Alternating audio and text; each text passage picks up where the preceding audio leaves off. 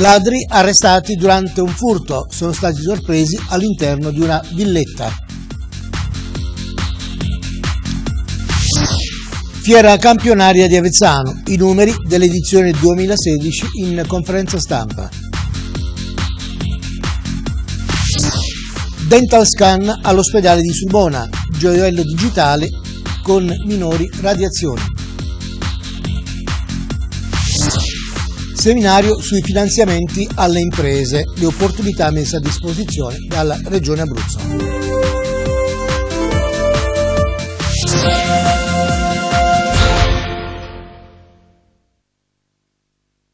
Un cordiale saluto dagli studi di Antena 2. Iniziamo con la cronaca. Al, poco dopo le 4 di questa mattina un cittadino ha segnalato al numero di emergenza 113 di aver notato dei, eh, delle luci e sentito dei, dei rumori eh, provenienti da una villa poco distante da casa sua di proprietà di persone residenti fuori regione nel comune di Introdacqua. Gli operatori della squadra volante del commissariato di Sulmona, intervenuti immediatamente sul posto, hanno subito notato una luce intermittente provenire dall'interno dell'abitazione ed un'autovettura parcheggiata in prossimità della villa con le chiavi inserite nel cruscotto, risultata essere di proprietà del padre di un noto pregiudicato sulmonese. A quel punto i due operatori si sono avvicinati al fabbricato ed hanno constatato che una finestra sul piano del garage ed una sul piano superiore erano state forzate ed aperte. Certi che i ladri fossero ancora all'interno, sono entrati approfittando di uno degli infissi aperti, constatando che la casa era stata messa completamente a soqquadro. Nel frattempo i ladri, accortisi che qualcuno era entrato nell'abitazione, si erano nascosti sotto due letti. La mossa è però risultata inutile perché i due agenti li hanno trovati poco dopo traendoli in arresto. Si tratta di GB di 41 anni e LB di 26, entrambi pluripregiudicati, avevano con loro una torcia ed un cacciavite, mentre in prossimità, prossimità delle finestre forzate sono stati rinvenuti un grosso martello ed una mazzetta da cantiere utilizzati per lo scasso. All'interno della macchina, in uso agli arrestati, sottoposta a perquisizione, è stato rinvenuto altro materiale utile allo scasso, una bomboletta di gas butano, guanti copricapi utilizzabili per occultare la propria identità ed uno sfollagente di tipo telescopico. L'autovettura ed il materiale rinvenuto sono stati sottoposti a sequestro. Su disposizione del pubblico ministero, dottor Stefano Iafolla, i due sono stati condotti presso la casa di reclusione di Sulmona. Ancora cronaca, ma ci spostiamo dal commissariato di Sumona a quello di Avezzano. Ieri sera, in una località nei pressi di Avezzano, la Polizia di Stato ha arrestato CD avezzanese di 43 anni con pregiudizi di polizia e pregressa condanna per stupefacenti. Gli operatori del commissario di pubblica sicurezza di Avezzano, impegnati in una operazione di polizia mirata alla prevenzione e repressione dei reati legati al traffico ed allo spaccio di sostanze stupefacenti, vedendo transitare GD alla guida della propria autovettura, hanno proceduto al suo fermo per effettuare le opportune verifiche finalizzate a riscontrare se lo stesso potesse occultare della sostanza stupefacente all'interno del mezzo su cui naturalmente viaggiava. Durante l'operazione di polizia all'interno del bagagliaio è stato rinvenuto un involucro di cellophane contenente sostanza stupefacente risultata positiva al narcotest per cocaina per un peso totale di circa 500 grammi. Inoltre, a seguito della perquisizione personale, è stata rinvenuta la somma di 300 euro in banconote di vario taglio. Le stesse operazioni sono state poi estese al suo domicilio alla presenza del legale di fiducia. Al termine delle operazioni di rito, su disposizione del pubblico ministero di turno della Procura della Repubblica di Avezzano, il responsabile è stato associato alla locale casa circondariale per essere posto a disposizione del locale tribunale per la convalida dell'arresto ed il successivo rito direttissimo. Il processo c'è stato oggi e lo spacciatore è stato eh, beneficiato degli arresti domiciliari. Esprimo solidarietà a Don Giovanni Gatto, parroco di Tempera, frazione dell'Aquila, che è stato minacciato dal clan dei Casalesi per aver resistito alle pressioni di ditte campane che volevano aggiudicarsi i lavori per la ricostruzione della chiesa e che è stato ascoltato a lungo dai carabinieri ai quali ha raccontato di temere ora ritorsioni. È quanto afferma la senatrice Stefania Pezzopane. Il sacerdote prosegue che si era ribellato a tentativi di infiltrazione anche nel periodo post-terremoto, ha ricevuto pieno sostegno dall'arcivescovo dell'Aquila Giuseppe Petrocchi. Credo che comportamenti come il suo siano esemplari nella lotta contro la criminalità organizzata che tenta continuamente di infiltrarsi nel tessuto sociale ed economico anche nella nostra regione. Tutte le forze politiche e le istituzioni devono stringersi intorno a figure come Don Giovanni Gatto perché nel contrasto alle mafie l'unione fa davvero la forza. Don Gatto non è solo e devono saperlo tutti. Il sindacato autonomo dei Vigili del Fuoco, CONAPO, interviene sulla vicenda della ristrutturazione della caserma dell'Aquila. In un comunicato afferma Apprendiamo dalle dichiarazioni del provveditore Roberto Linetti dell'ennesimo ritardo che subirà l'avvio dei lavori di ricostruzione della sede dei Vigili del Fuoco dell'Aquila. Come sindacato dei Vigili del Fuoco più volte avevamo espresso la nostra posizione e suggerito alternative che puntualmente sono state del tutto ignorate. Invitiamo i responsabili che ai vari livelli e nel tempo hanno prodotto questa situazione a venire nella topaia dove ci hanno confinato negli ultimi sette anni e scusarsi con i vigili del fuoco. È facile chiamarci gli angeli del terremoto, attacca il segretario provinciale del CONAPO Elio D'Annibale, quando fa comodo usare l'immagine dei vigili del fuoco, mentre non rileviamo altrettanta solerzia politica quando invece è il momento di far funzionare le cose e dotare i vigili del fuoco di una sede di servizio consona alle esigenze di sicurezza dei cittadini. Intanto i vigili del fuoco dell'Aquila continuano a lavorare in quello che resta della sede terremotata in condizioni igieniche e sanitarie inaccettabili nel silenzio assordante dei papaveri. Invitiamo i responsabili di questa barzelletta politica ed istituzionale a venire in caserma a scusarsi con tutti i vigili del fuoco aquilani. Chissà, seppur incapaci a gestire la loro ricostruzione della sede di servizio, magari salveranno la faccia, commenta infine il segretario del CONAP. E passiamo alla fiera, fiera campionaria di Avezzano. 150 espositori, 14 eventi, numerose associazioni no profit e serate di gala alla quarta edizione della fiera campionaria di Avezzano al via venerdì 22 aprile alle ore 10 al nucleo industriale, area di grande soddisfazione a Palazzo di Città dove gli addetti ai lavori della quarta kermesse fieristica intersettoriale, Confercio, eh, Commercio, Confesercenti e Confartigianato, amministrazione comunale, Camere di Commercio, Cooperativa Sociale L'Orizzonte che ha fatto registrare l'emplay di espositori, hanno snocciolato numeri di partecipanti, iniziative collaterali di confronto su tematiche ed opportunità del settore, eventi, nonché aspettative della tre giorni dal 22 al 24 aprile al centro fieristico di via Newton. Le immagini naturalmente sono riferite alla edizione dello scorso anno. La fiera campionaria è un appuntamento atteso, ha dichiarato il sindaco di Pangrazio, che ogni anno si fa più interessante grazie all'impegno dell'amministrazione comunale, delle associazioni di categoria e dell'organizzazione. Un'associazione imperdibile, un'occasione imperdibile per il territorio per puntare sul rilancio dell'economia locale, simbolo di una città in movimento che cambia e cresce quotidianamente e lo fa partendo dal lavoro e dalla valorizzazione delle proprie risorse produttive. Il rinnovato sostegno all'evento da parte dell'amministrazione comunale di Avezzano testimonia ancora una volta che crediamo in questo progetto tanto che stiamo lavorando in sinergia con la Regione Abruzzo per ottenere l'affidamento dell'ente fiera nell'ottica di definire la realizzazione del centro fieristico marsicano. Sulla stessa lunghezza d'onda l'assessore alle fiere Daniela Stati. Fatica, impegno e passione per un evento realizzato in completa sinergia a cui l'amministrazione di Pangrazio tiene da sempre. In questi giorni ho avuto modo di visitare la struttura in cui stanno prendendo forma i padiglioni dove gli espositori mostreranno le loro eccellenze. Sono certa che le aspettative dei visitatori verranno ampiamente soddisfatte. La fiera è un orgoglio per la Marsica ed anche quest'anno sarà un trampolino di lancio per molte attività ed un momento che i cittadini non vorranno di certo perdere. Ringrazio tutti gli operatori che ci hanno messo del loro in ogni fase dell'organizzazione ed un grazie speciale a Maria Teresa Letta, vicepresidente nazionale della Croce Rossa, che sarà presente con due padiglioni, Croce Rossa e Caritas, per ricordare quanto eh, quanta solidarietà, altruismo e partecipazione siano essenziali in ogni contesto evidente la soddisfazione del Comitato Magia del Fare, animato da Confcommercio, Confesercente e Confartigenato.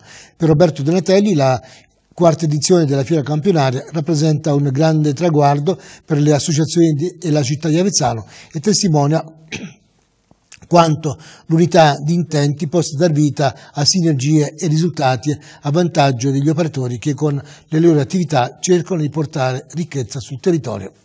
Domenico Venditti ha posto l'accento sul grande lavoro di squadra. È stata dura, ma la voglia di esserci ancora e di stupire è stata più forte. Al fianco dei promotori, supportati dal braccio operativo, la cooperativa sociale L'Orizzonte, sedeva Maria Teresa Letta, la vicepresidente nazionale della Croce Rossa italiana, che come abbiamo detto sarà ospite della fiera per far conoscere ai marsicani le numerose attività dell'associazione, oltre al servizio ambulanza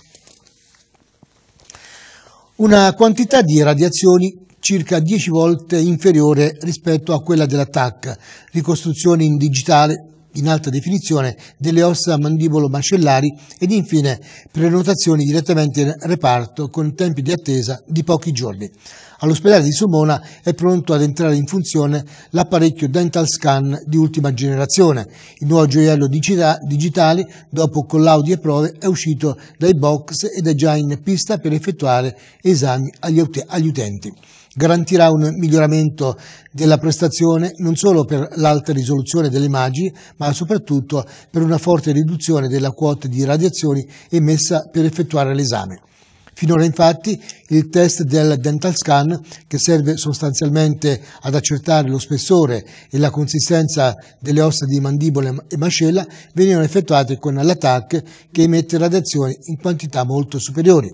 Il nuovo dispositivo digitale è dotato di proprietà tecnologiche avanzate poiché utilizza tra l'altro il sistema Combin il nuovo strumento analizza in modo minuzioso, scandagliandole a fette minute, le ossa mandibolo-mascellari che poi ne fa una ricostruzione digitale in modo da fornire un quadro completo e preciso di tutte le caratteristiche del tessuto.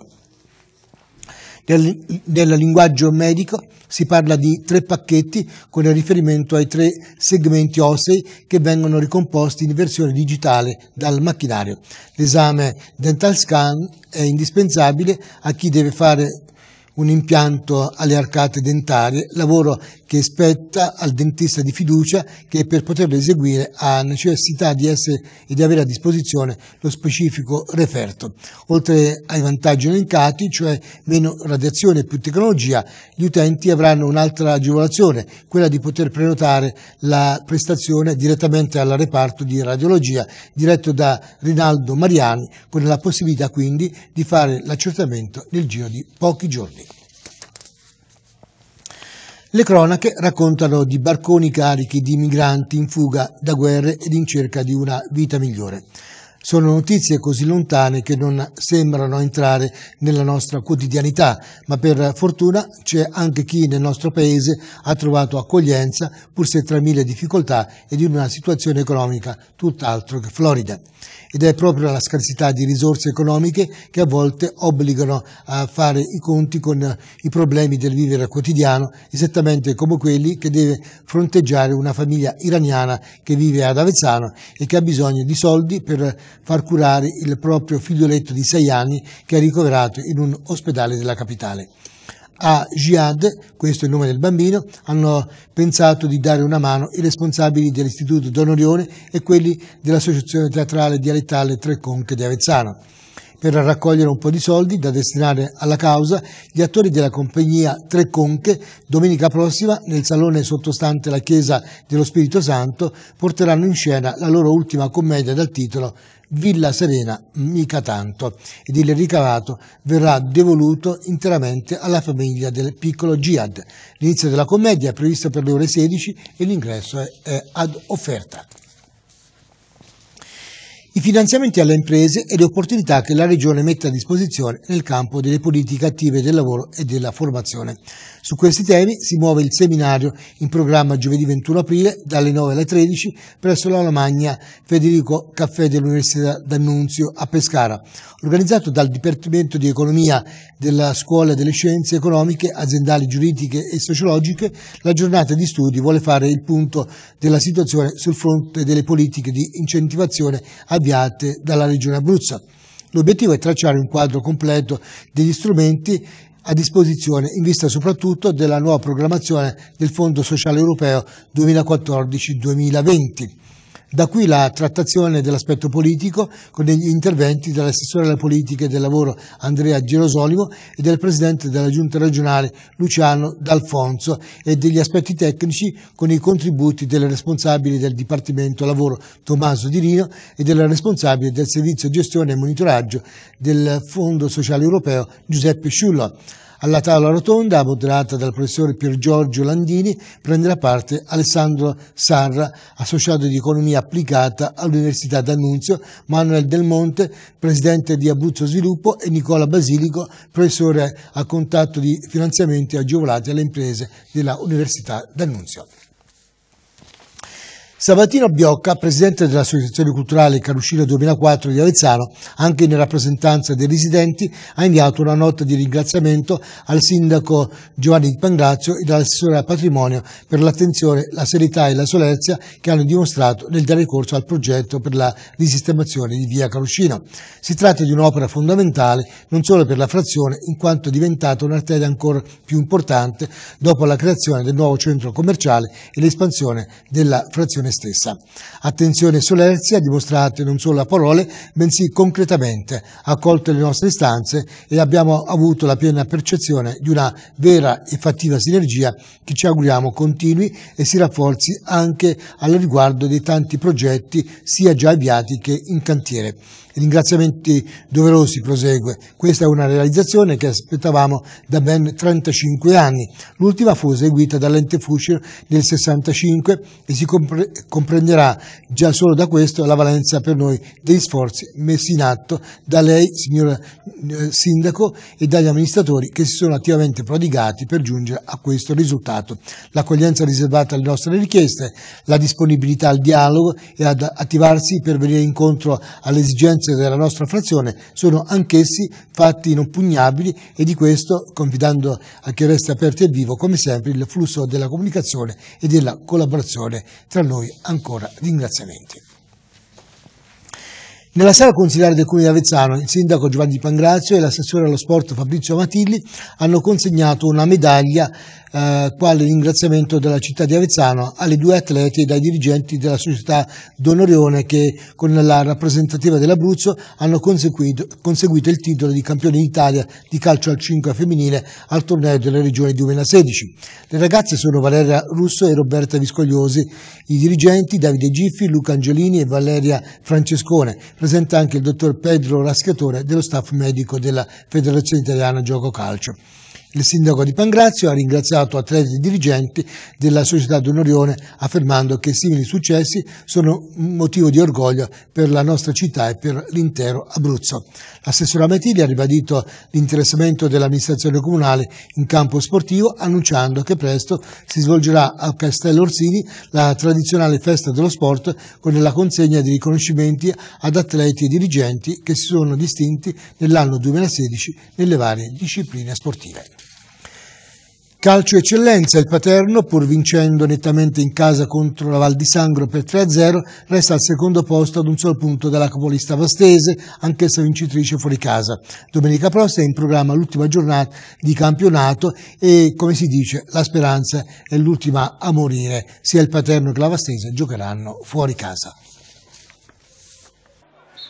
Tre reti anche alla Val di Sangro, ma quella contro i biancazzurri di Giannico rischia di diventare la partita dei rimpianti, perché il punticino di vantaggio che gli aragonesi vantavano prima di questa gara è rimasto tale e anzi è diventato ancora più prezioso. Il Paterno si congeda quindi dal pubblico amico con una prestazione non eccezionale, ma le circostanze, il caldo e l'avversario di turno non consentivano di più e allora è inutile stare a cercare il pelo nell'uovo. Un occhio al campo e l'orecchio teso a captare buone notizie che però non sono arrivate. Fa caldo e di voglia di correre non è che ce ne sia poi molta, ma la differenza tecnica di valori in campo è abbastanza evidente e basta poco ai marsicani per mettere le cose in chiaro. È il sesto minuto quando Amore scende sulla sinistra e crossa in mezzo alla ricerca di qualche compagno, ma Trivilino è attento e abbranca in bello stile. Al tredicesimo la palla viaggia da Carosone a Cordischi che trova spazio ed entra in area per la conclusione, ma il destro non è il suo piede migliore e si vede chiaramente. Passa meno di un minuto e si registra un'azione elaborata da parte del Paterno che porta al tiro Miccichè, ma anche stavolta l'estremo ospite risponde presente. Poi Crognale spazza in calcio d'angolo. Al venticinquesimo la gara si infiamma, ad accendere la miccia ci pensa Ciurlia che batte una punizione che viene raccolta da Catalli sulla linea di fondo. L'invito successivo non viene però raccolto da nessuno dei suoi e subito dopo scatta fulmineo il contropiede avversario.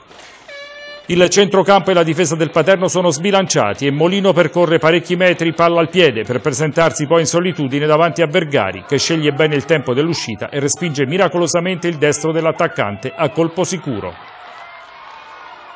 Al 35 i marsicani passano in vantaggio. Cordischi controlla un pallone sulla riga che delimita l'area di rigore e su di lui entra un po' rudemente Spinelli.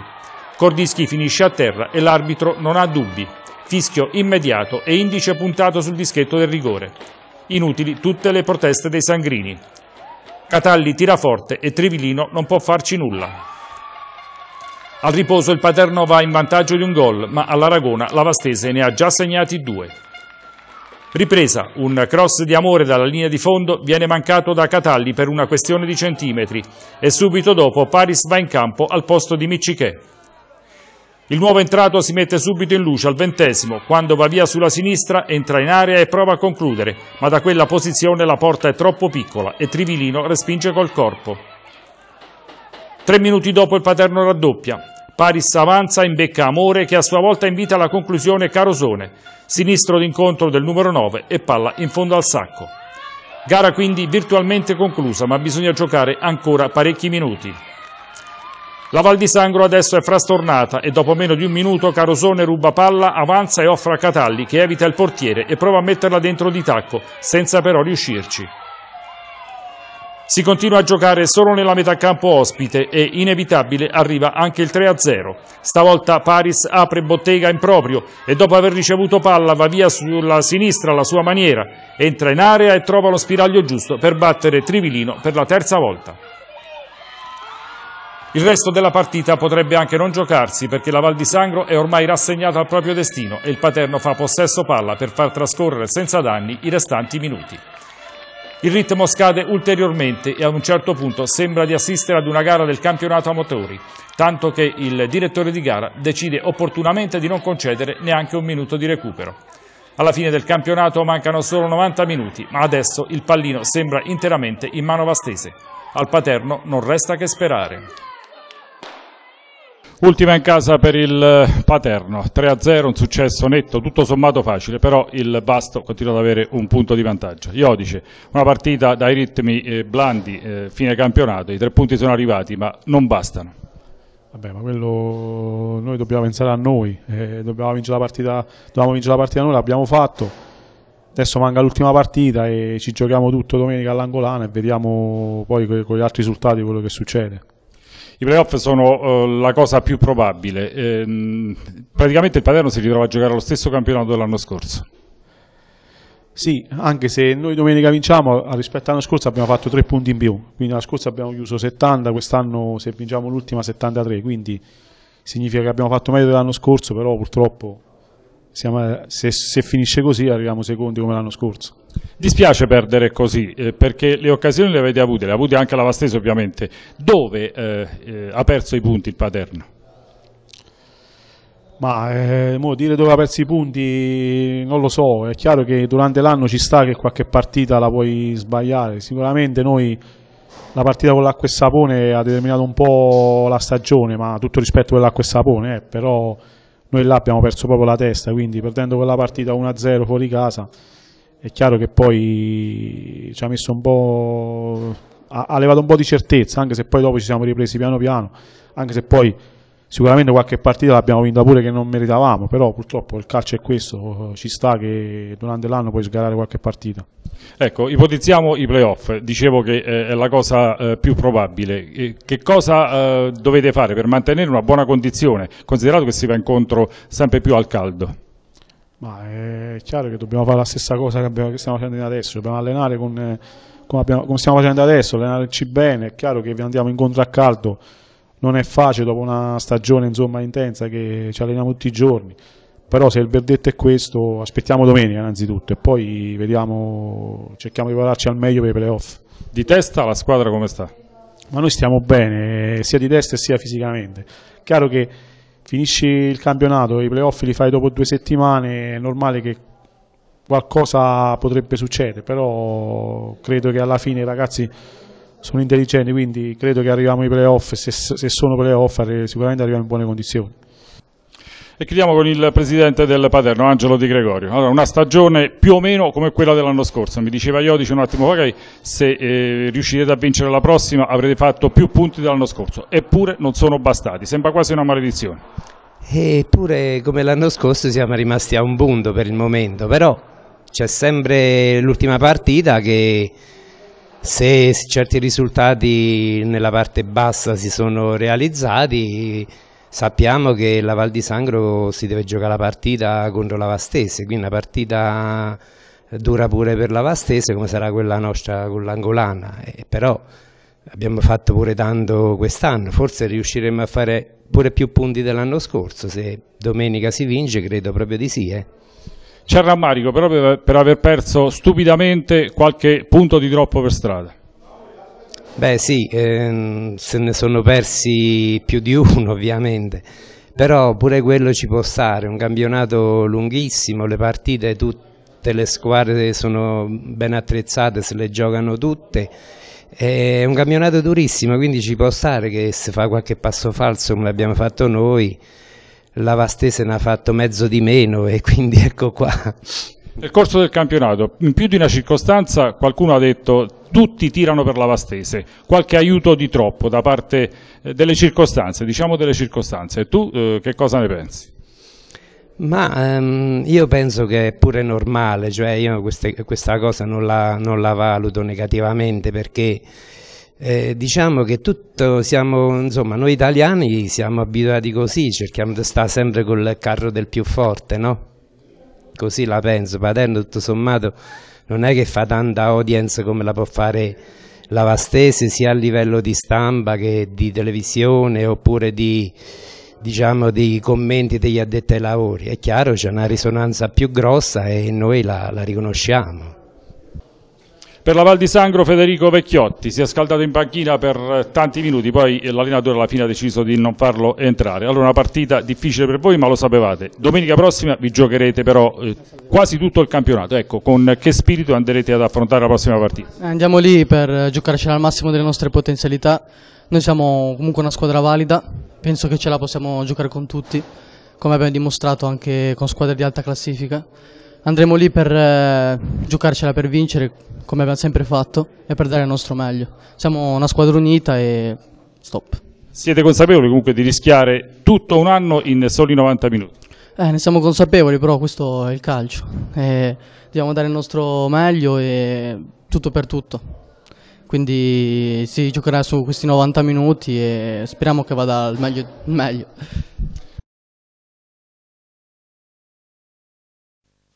Prima dei saluti vi ricordiamo che questa edizione del Telegiornale la potrete rivedere integralmente sul nostro sito internet www.antenadtv.it. Tra altre cose sarà possibile rivedere i vecchi servizi che Antena 2 ha realizzato nel corso degli ultimi anni. Grazie dell'attenzione, a risentirci alla prossima edizione.